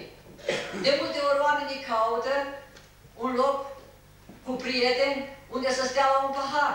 Și ei spun că au acolo poate părtășie la un pahar. Dar de cele mai multe ori părtășia aceea se termină, dacă nu cu bătaie și cu omoruri, dar cel puțin cu ceartă. Ce părtășie este aceea? Părtășie spun oamenii că au și atunci când merg la un loc de distracție. Dar niciodată nu-și vor împărtăși acolo oamenii nici bucuriile, nici necazurile, pentru că acolo este egoism. Acolo nimeni nu simte cu celălalt, ci fiecare simte pentru el și fiecare inimă este închisă și măcinată în ea înșe, însăși. În casa lui Dumnezeu, pentru că este prezența lui Dumnezeu, pentru că este pacea lui Dumnezeu, pentru că este dragostea lui Dumnezeu, pentru că simțim ca frații și trăim ca frații, avem curajul să ne deschidem unii inimile înaintea celorlalți.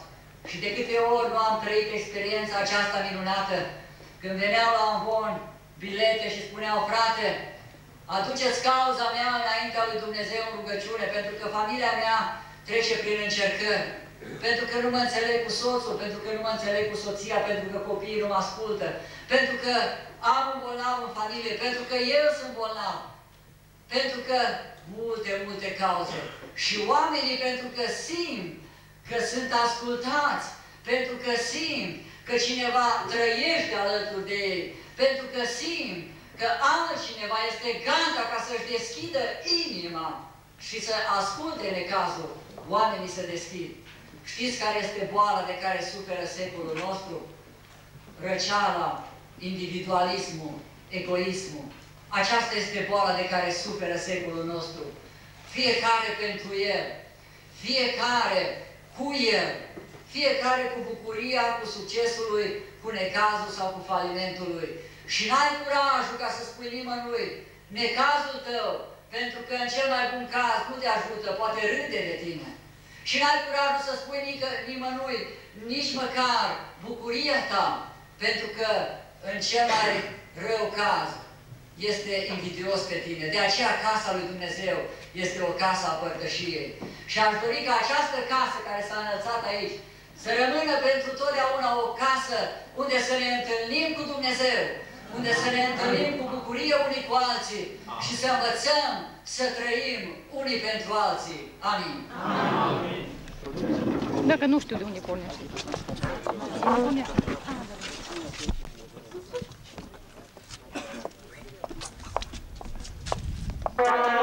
și căldura sunt doi factori determinanți pentru noi.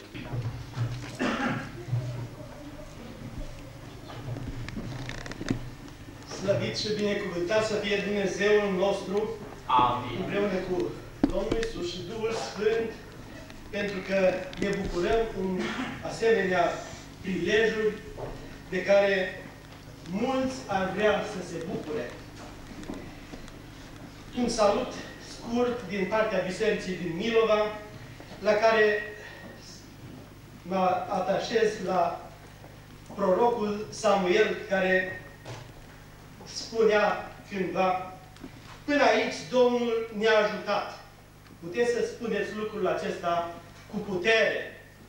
Și un lucru minunat care trebuie să spuneți în continuare și care trebuie să lucrați, așa cum spune Cuvântul Sfânt în Epistola Apostolului Pavel către Corinteni, întâia, din capitolul 15, versetul 58, care spune așa, De aceea, prea iubiții mei, frați, fiți tari, neclintiți, sporiți totdeauna în lucrul Domnului, că știți că oboseala voastră în Domnul nu este zadarnică. Domnul să vă binecuvânteze, să fie totdeauna în sprijinul dumneavoastră. Amin. Amin. Iisus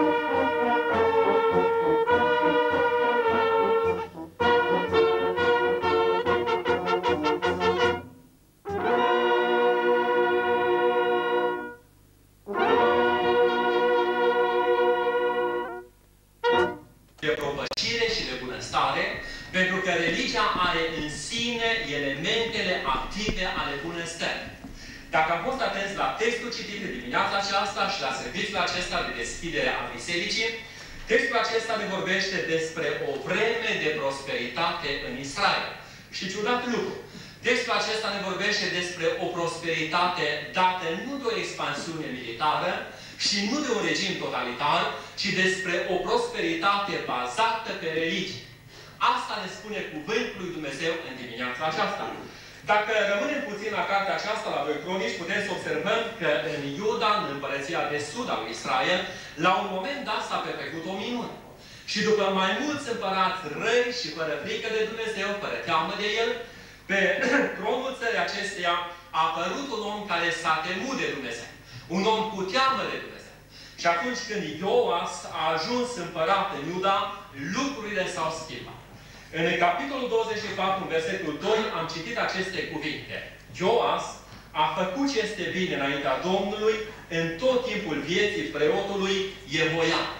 Ioas se prezintă înaintea noastră în dimineața aceasta ca un om care a făcut ce este bine în viața lui, înaintea lui Dumnezeu și înaintea oamenilor. Și pentru că Cuvântul Dumnezeu ne-a spus deja modul acesta de trăire a lui Ioas, Cuvântul ne spune și care a fost urmarea acestei frici de Dumnezeu. În capitolul 23, în versetul 5, cuvântul Dumnezeu este acela. În versetul 21, cuvântul Dumnezeu ne vorbește despre urmarea acestei temeri de Domnul. Și cuvântul spune așa, tot poporul țării se bucura și cetatea era liniștită. Tot poporul țării se bucura și cetatea era liniștită. Desigur că această bucurie am putea să o legăm de belșugul care era în țară. Și e bine să notăm în dimineața aceasta că Dumnezeul nostru este un Dumnezeu care ne cheamă nu la sărăcie, ci ne cheamă la belșug. El a chemat pe altă dată pe Avram la belșug în țara Canaanului. El a chemat altă dată pe Iacov să iasă din Canaan și să se coboare în Egipt, dar nu l-a dus la sărăcie acolo, ci l-a dus la belșug. I s-a dat ținutul acela binecuvântat al boșinilor. Dumnezeu și-a chemat altă dată poporul său să iasă din Egipt și l-a dus într-o țară unde curge lapte și miere adică în Canaan, la Belșug. Și îmi place așa de mult că în cartea prorocului Isaia, în capitolul 55, cuvântul Dumnezeu este acela care ni se adresează și ne, se spun, ne spune aceste cuvinte minunate. De ce cântăriți argini pentru un lucru care nu grănește? De ce vă dați câștigul, câștigul muncii voastre pentru ceva care nu satură? Ascultați-mă, dar, și veți mânca ce este bun și sufletul vostru se va desfăta cu bucate gustoase.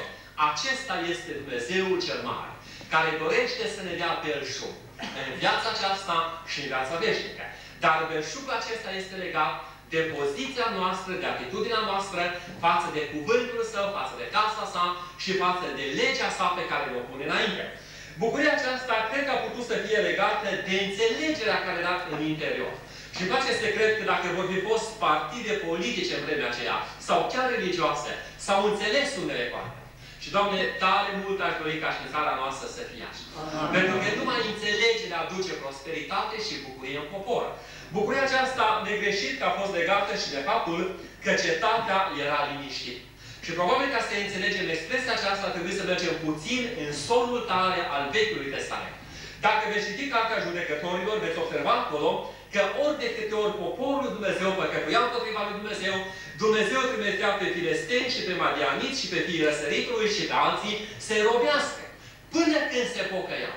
Până când se întorceau la Dumnezeu. Și întotdeauna când Israel era o vreme de liniște, era o vreme de pocăință de fapt. Și dacă pe vremea împăratului Ioas a fost o vreme în care țara era liniștită, această liniște de la hotare trebuie neapărat să o legăm de pocăința dinăuntru și de faptul că oamenii ascultau de Dumnezeu. Dar îmi place să cred în mod deosebit că această bucurie a fost dată de o relație efectivă cu Dumnezeu.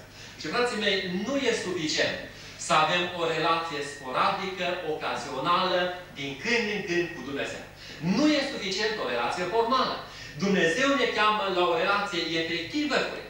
Pentru că numai o relație efectivă cu Dumnezeu poate să aducă propăcire și în familie și în țară. Și frații mei, oamenii aceștia aveau o relație efectivă cu Dumnezeu.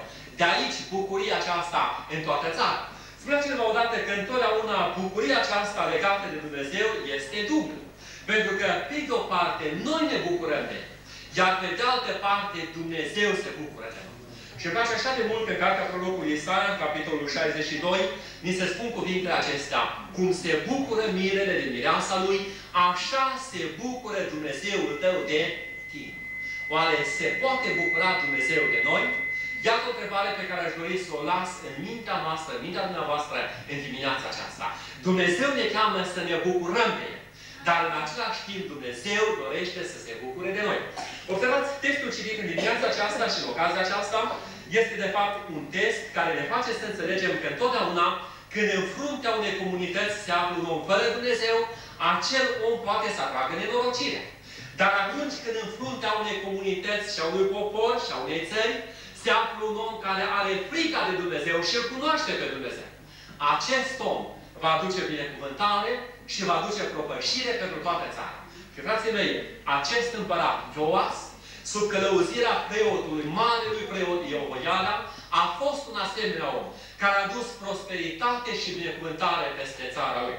Textul acesta este un text care ne face dimineața aceasta să ne întrebăm fiecare dintre noi de unde interesul lui Ioas față de casa Domnului.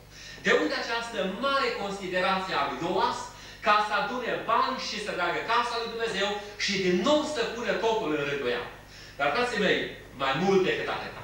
Dați-mi voi să vă spun că pe parcursul celor doi ani de zile, cât s-a lucrat aici la Casa Domnului, mereu mi-a pus întrebarea aceasta, de unde acești oameni bătrâni au avut puterea, abnegația, răbdarea, voința, râvna să lucreze pentru Casa lui Dumnezeu și să nu se lasă. Și, frații mei, cred că răspunsul a fost în cuvintele domnului profesor Dea când spunea, din credința lor, a venit această abnegație, această hotărâre sfântă pentru Dumnezeu. Din trăirea lor efectivă cu Dumnezeu. A venit hotărârea aceasta ca ceea ce au început să ducă la bun sfârșit. De fapt, dacă ne citim Psalmul 1, ni se spune că uh, condiția de bază a omului neprihănit este chiar aceasta. Caracteristica de bază a omului neprihănit este aceasta. Tot ce începe duce la bun sfârșit. Iată, Dumnezeu este acela care le-a ajutat să încheie ceea ce au început și prin credința lor și prin trăirea lor efectivă cu Dumnezeu, Dumnezeu a ajutat ca într-adevăr să termine casa aceasta de întinăciune. Spunea odată cineva că fără credință și fără o, cre și fără o trăire efectivă cu Dumnezeu, o țară întreagă n-ar putea să ridice o colibă pentru Dumnezeu. Dar cu credință și cu o trăire efectivă cu Dumnezeu, o mână de oameni pot să ridice un templu. Și slăvit să fie Dumnezeu. Amin. Acest adevăr stă în picioare și ziua astăzi. Iubiții mei, haideți să ne apropiem de Cuvântul Dumnezeu dimineața aceasta și, într-adevăr, să încercăm să vedem de unde a venit acest mare interes și această mare considerație a lui Ioas față de casa lui Dumnezeu. Și apoi să luăm pentru noi interes în dimineața aceasta. Să luăm considerație în dimineața aceasta pentru casa lui Dumnezeu și pentru cuvântul său. În primul rând și primul adevăr pe care aș dori să vi-l împărtășesc în dimineața aceasta este că această mare considerație a împăratului Ioas pentru casa Domnului a venit din experiențele personale trăite la casa Domnului. Și Ioas, nu uitați, a fost un om care a avut mari experiențe personale la casa Domnului. Dați-mi voie să vi-l amintesc în dimineața aceasta. Ioas a fost omul care a fost scăpat în casa Domnului. În capitolul 22, cuvântul Dumnezeu spune în legătură cu Ioas așa. Atalia, mama lui Ahazia, văzând că fiul ei a murit, s-a sculat și a omorât tot neamul împărătesc al casei lui Iuda. Dar Iașoviat, fata împăratului, a luat pe Ioas, fiul lui Ahazia, l-a ridicat din mijlocul fiilor împăratului când au fost omorâți și l-a dus cu doica lui în odaia patului. Astfel, l-a ascuns fata împăratului, nevasta preotului Ioiada, și a scăpat de, l-a scăpat de privirea Atalei care nu l-a omorât. A stat șase ani ascuns cu ei în casa Domnului. Împăratul Ioas a fost un om scăpat în casa Domnului. Poate asta a fost cea mai de bază experiență pe care a avut-o el în casa Domnului. Desigur că era copil. Dar probabil că s-a povestit că din ce alții au fost omorâți, el a fost scăpat în casa Domnului. Și frații mei, nu putem sunt acei oameni care au fost scăpați în casa lui Dumnezeu. Haideți să ne aducem aminte dimineața aceasta de împăratul Ezechia. Când împăratul Sanherib a primit scrisoarea aceea ca să-l înspăimânte. El s-a dus, s-a dus cu scrisoarea aceea în casa Domnului și acolo a citit. Și Dumnezeu a dat scăpare. A venit Îngerul Domnului și într-o noapte au omorât 180.000 de oameni din tabăra sirienilor și s-au întors înapoi. Haideți să ne aducem aminte că un alt om, și anume prorocul, marele proroc al Vechiului Testament, Isaia, și el a fost scăpat în casa Domnului. În anul morții împăratului Ozia, spune cuvântul Dumnezeu, el s-a refugiat în casa Domnului. Când a văzut însă pe Dumnezeu pe scaunul lui de domnie, Isaia a spus cuvintele acestea, Vai de mine, sunt un om pierdut. Dar a venit Îngerul Domnului, a luat un cărbune de pe altar și l-a curățit. El a fost scăpat în casa Domnului. Și frații mei, aș dori să rețineți în dimineața aceasta că o caracteristică de bază a oricărei case de închinăciune, indiferent că are cruce sau nu are, indiferent că altarul este spre răsărit sau spre apus, este chiar aceasta. Oamenii să găsească scăpare în casa Domnului. Dacă mergem în Noul Testament, acolo ni se prezintă de asemenea mulți oameni care au fost scăpați în casa Domnului. Dacă ne citim dumneavoastră în Evanghelia după Luca, în capitolul 6, acolo ni se vorbește despre omul cu mâna uscată. El a fost scăpat în casa Domnului. Dumnezeu i-a vindecat mâna, Domnul Iisus Hristos a vindecat mâna.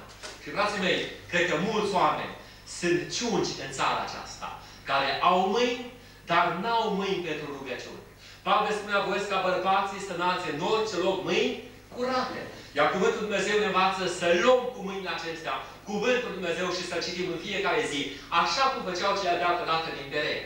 În Evanghelia după Luca, în capitolul 13, ni se vorbește despre femeia gârbovă, care de asemenea a fost scăpată în casa Domnului. Și probabil că și în țara aceasta sunt mulți oameni gârbovi, care niciodată nu privesc pe Dumnezeu. Nu privesc spre cerul lui Dumnezeu. Nu văd slava lui Dumnezeu și planul lui Dumnezeu. Ei au nevoie să fie scăpați în casa Domnului. Sau, dacă mergem în Evanghelia după Matei, în capitolul 21, ni se vorbește acolo despre orbi și șchiopii, care de asemenea au fost vindecați în templul de Domnul Iisus Hristos.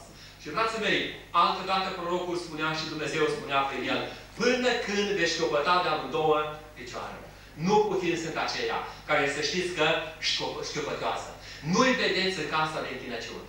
Duminică, atunci când casa de închinăciune se deschid, ei nu au picioare să se îndrepte pe aceste case de închinăciune. Ei au nevoie să fie scăpați, vindecați în casa lui Dumnezeu.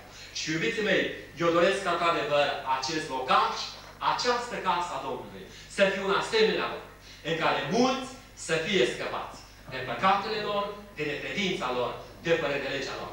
Ar trebui să notăm în dimineața aceasta nu numai că Ioas a fost un om scăpat în casa Domnului, dar reține și aceasta, el a fost învățat în casa Domnului. Timp de șase ani a stat ascuns în casa Domnului. Dar el avea obligația aceasta că atunci când copiii erau încă mici, să învețe. Și trebuiau să o facă acasă, și trebuiau să o facă la templu și la sinagogă și în casa Domnului. Și iubiții mei, în mod sigur, Ioas a fost învățat ca și copil în casa Domnului. Acum nu se explică faptul că atunci, când el a devenit împărat, deși religia de stat era una idolatră, pe care a dus-o Izabela și Ahab, el a consimțit ca religia aceasta idolatră să fie dată la o parte și să fie reinstaurată adevărata religia lui Israel. Eu cred că a fost învățat pe casa Domnului. Și, dragii mei, de asemenea, o caracteristică de seamă a oricărei casa lui Dumnezeu este aceasta. În casa Domnului, oamenii sunt chemați să vezi. Mi-e place așa de mult de Apostolul Pavel, care în Coloseni, în capitolul 1, versetul 28, spunea altădată cuvintele acestea. Pe El, adică pe Domnul Iisus Hristos, îl propovăduim noi și sfătuim pe orice om și învățăm pe orice om în toată înțelepciunea ca să înfățișăm pe orice om desăvârșit în Hristos Iisus. Mari sunt cuvintele acestea. Învățăm pe orice om ca să înfățișăm pe orice om desăvârșit în Domnul Iisus Hristos. Și aș dori ca, într-adevăr, această caracteristică să fie și a casei acestea de închinăciune. Oamenii să fie învățați aici, să-L cunoască pe Dumnezeu și calea Lui. Totodată aș dori să rețineți că Ioas a fost și încoronat în casa Domnului. Probabil că dacă exista ceva prin care împăratul Ioas s-a deosebit de tot ceilalți împărat al lui Israel, a fost tocmai elementul acesta. El a fost încoronat în casa Domnului. Timpul e trecut, dar v-aș ruga acasă să citiți capitolul 23 și să constatați adevărul acesta, că El a fost încoronat în casa Domnului. Frații mei, este tot o caracteristică a casei Domnului. Domnul Iisus Hristos a venit să ducă pe mulți fii la slavă. Dumnezeu Tatăl este marele împărat. Iar toți aceia care sunt copiii Lui sunt prinți. Și această coronare de prinți se face în casa Domnului. Atunci când fiecare dintre noi am procedat sau procedăm așa cum a făcut-o Fiul Ispititor. Venim și spunem, Tată, am păcătuit împotriva ta. Și atunci Tatăl este gata să ne dea și haină, și încălțăminte, și titlul acesta de copil, să ne coroneze ca și copii ai Lui și apoi într-o zi să ne primească în cer. Iată, acest împărat Ioas a fost un om cu o mare considerație față de casa lui Dumnezeu. Dar această considerație față de casa lui Dumnezeu a venit din experiențele personale pe care le-a trăit în casa Domnului. În al doilea rând, aș vrea să rețineți că această mare considerație față de casa Domnului, în viața lui Ioas, a venit și din învățăturile bune ale marelui preot Ievoiada. Asta ne spune Cuvântul lui Dumnezeu. Și dacă am fost, a fost atent la ceea ce Cuvântul lui Dumnezeu a spus în dimineața aceasta, în versetul 16 ne-am citit așa. În legătură cu Ievoiada, Cuvântul spune, l-au îngropat în cetatea lui David, la un loc cumpărații, pentru că făcuse bine în Israel și față de Dumnezeu și față de casa lor. Marele preot Iehoiada a fost un om extraordinar. A avut o învățătură bună toată viața lui. Și împăratul Ioas s-a adăpat la învățătura aceasta bună. Și datorită acestei învățături, el a ajuns să aibă o mare considerație față de casa Domnului. Frații mei, aș dori să-l cunoaștem puțin pe acest mare preot despre care Cuvântul Dumnezeu ne-a vorbit în viața aceasta. Aș dori să rețineți că acest preot a fost un om care știa să se îmbărbăteze prin Cuvântul lui Dumnezeu. Și în capitolul 23, în versetul 1 și 3, cuvântul spune așa. În al șaptelea an, Iehoiada s-a îmbărbătat și a făcut legământ cu căpeteniile poporului. Și aș dori să notăm în dimineața aceasta că întotdeauna Dumnezeu are nevoie de asemenea oameni, care să știe să se îmbărbăteze prin cuvânt. Pentru că îmbărbătându-se pe ei, să îmbărbăteze și poporul. Și nu uitați, Iosua a fost tot un asemenea om. Și cuvântul Dumnezeu spune foarte clar, scoală-te acum și îmbărbătează.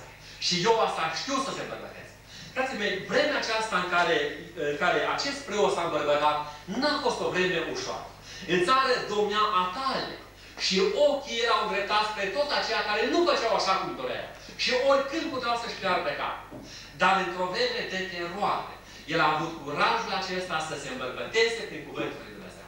Și faptul că el a știut să se îmbărbăteze, a făcut ca apoi leviții, preoții, căpetenile militare și tot poporul să se îmbărbăteze și să zidească o casă pentru Dumnezeu. Frații mei, ne bucurăm pentru aceia care au îmbărbătat poporul acesta puțin la număr ca să zidească o casă pentru Dumnezeu. Și stădim pe Dumnezeu pentru asemenea oameni. Marele preot nu numai că știa să se îmbărbăteze din Cuvântul Lui Dumnezeu, dar urmări, observați încă un lucru. El era un om care urmărea sfințirea casei Domnului. În capitolul 23, versetul 6, el spune așa. Nimeni să nu intre în casa Domnului, afară de preoți și leviții care erau în slujbă. El a urmărit ca întotdeauna casa Domnului să fie sfințit. Dacă mergem puțin mai departe, în același capitol, în versetul 14, când uh, poporul a oborit-o pe împărăteasa Atalia, el a spus cuvintele acestea, nu omorâți în casa Domnului. E sfânt locul acesta. Nu-l spurcați. Nu omorâți în casa Domnului. Iar mai departe, din nou există un verset în acest capitol 23, în care din nou ni se aduce aminte că acest om a urmărit sfințirea casei Domnului. În versetul 19 noi citim așa, a pus ușieri la porțile casei Domnului ca să nu intre nimeni spurcat prin ceva. Iată ce om extraordinar a fost acest mare preot. A urmărit sfințirea casei Domnului. Și aș dori ca dimineața aceasta Duhul lui Dumnezeu să pună pe inima noastră, să urmărim și noi sfințirea noastră și a casei Domnului. Dacă mergem în 1 Petru, în capitolul 1, ni se spune că Dumnezeu este Sfânt. Și ni se spune acolo, fiți sfinți, pentru că Dumnezeu este Sfânt. Și dacă chemați ca Tată pe Cel ce este Sfânt, atunci sfințiți-vă. Nu puteți să-L chemați ca Tată pe Cel ce este Sfânt, dar voi să nu vă sfințeți. Eu aș dori ca fiecare dintre noi să ne asemănăm cu acest preot. Să urmărim sfințirea noastră și a casei Domnului întotdeauna. Dar totodată aș dori să reținem și aceasta. El era un om care ținea la rânduiala lui Domnului. În capitolul 23, în versetul 18, el a spus așa. Iehoiada a încredințat slujbele casei Domnului în mâinile preoților și leviților, pe care îi împărțise David în casa Domnului, ca să aducă arderi de tot Domnului, cum este scris în legea lui Moise, în mijlocul bucuriilor și cântărilor după rânduiala lui David. Desigur că există cuvintele acestea după rânduiala lui David. Dar dincolo de rânduiala lui David a fost rânduiala Domnului. El a lăsat această rânduială.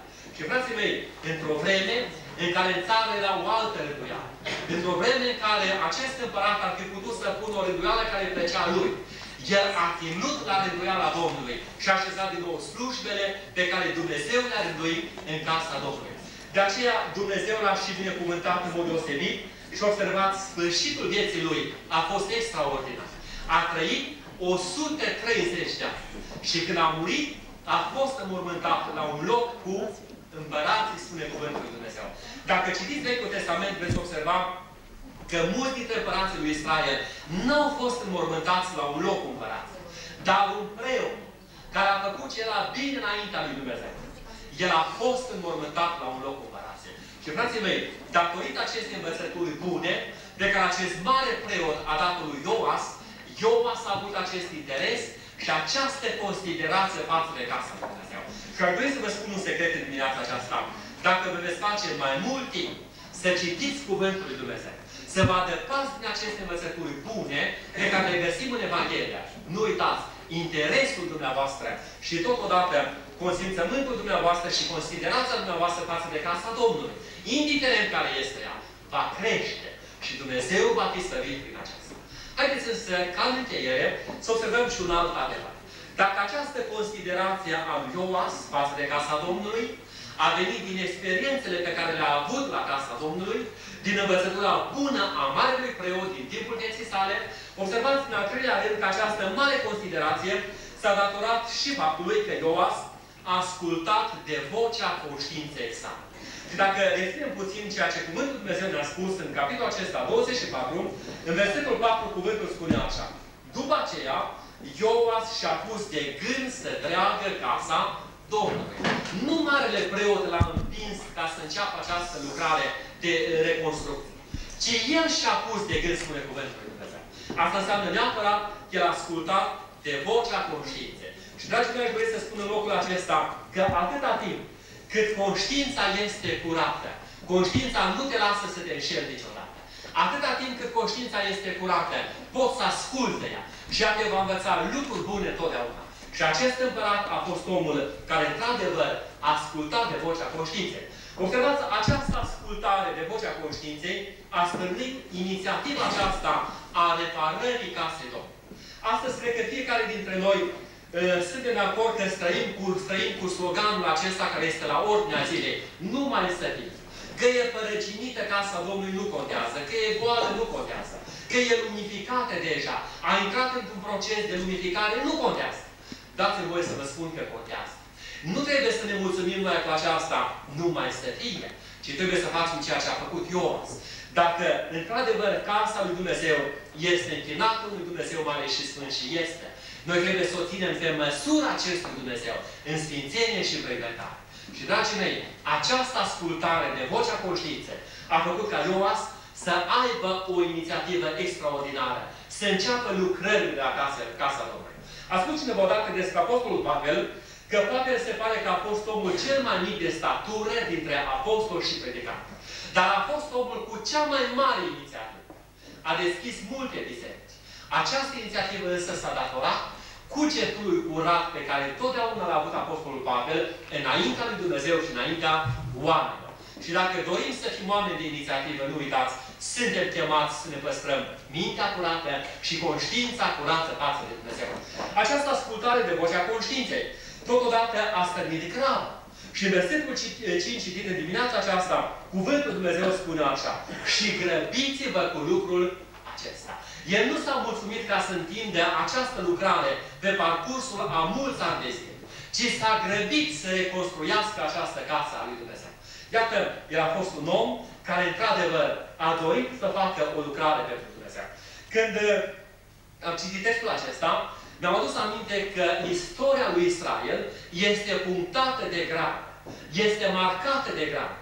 În grabă, cred că a fost, plecat, a fost chemat Avram să iasă din țara lui și să vină în țara pe care Dumnezeu a spus că o va arăta el. În grabă, Iacov a trebuit să plece altă dată din Canaan în Mesopotamia. În grabă a trebuit să se coboare în Egipt. În grabă a fost plecarea evreilor din țara Egiptului. Și frații mei, în grabă, a fost războiul acela de șase zile, de șapte zile, când evrei au cucerit teritoriile pe care le-au stăpânit altă dată sub David și împăratul Solomon. De ce oare graba a marcat întotdeauna istoria acestui popor? Frații mei, Dumnezeu ne spune foarte clar că împărăția lui se ia cu năvală. Iar în cartea către mine se spune, grăbiți-vă să intrați în odihna aceasta. Și ar trebui să înțelegem că în dimineața aceasta că Dumnezeul nostru la care ne închinăm ne cheamă în grabă să ne punem viața în rânduială. Pentru că nu știm cât a mai rămas și cât ne va răma acasă. Iată, această ascultare de vocea conștiinței a stârnit graba, dar totodată această ascultare de vocea conștiinței a stârnit inventivitatea. Și pentru că ceea ce trebuia adunat nu se aduna așa cum trebuia. Acest om a fost inventiv. A dat porunca să se construiască o ladă, care era pusă la ușa templului și tot ceea ce trebuia pus pentru corpul întâlnirii și pentru templu era pus acolo.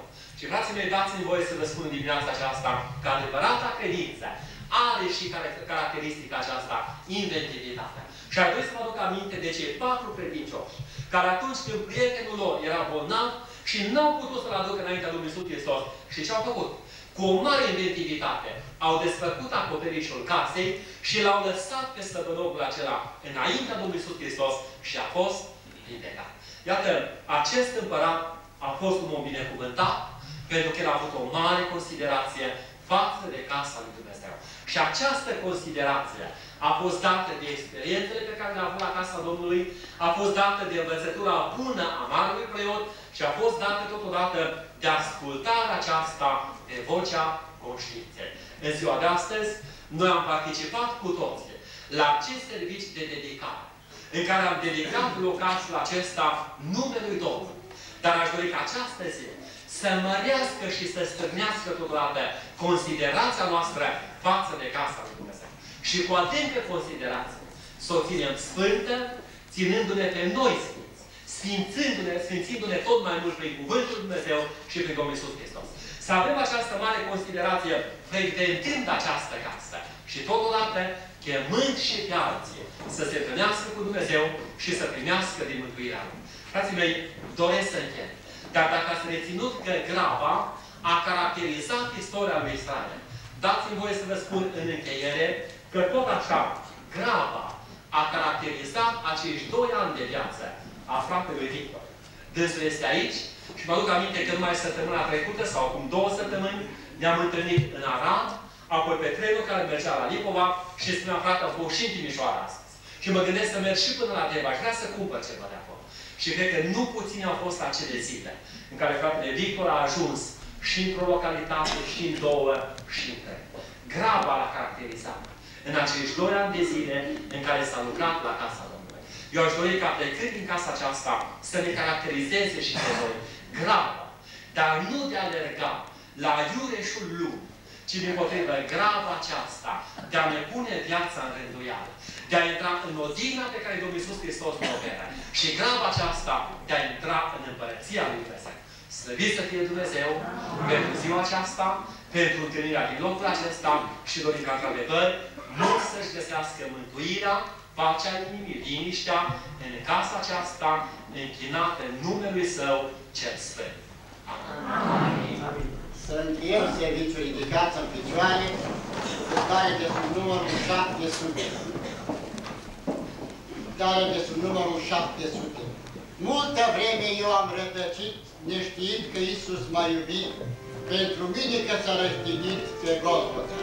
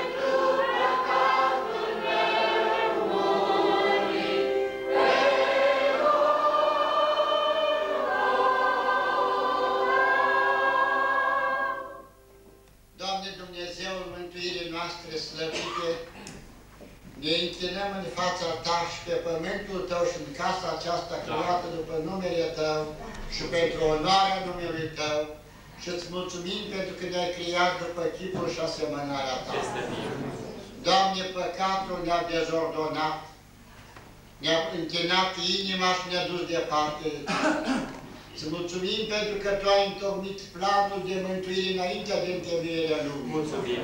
Îți mulțumim că ai trimis pe unicul Tău Fiu la moarte și că la moarte de cruce. Mulțumim. Pentru că acolo să ne săvârșește o mântuire mare și binecuvântată. Domnul nostru, ne închinăm în clipele acestea și slăvim numele Tău pentru clipele de har, când am putut sta în fața cuvântului Tău. Îți mulțumim pentru că El este viu și lucrător.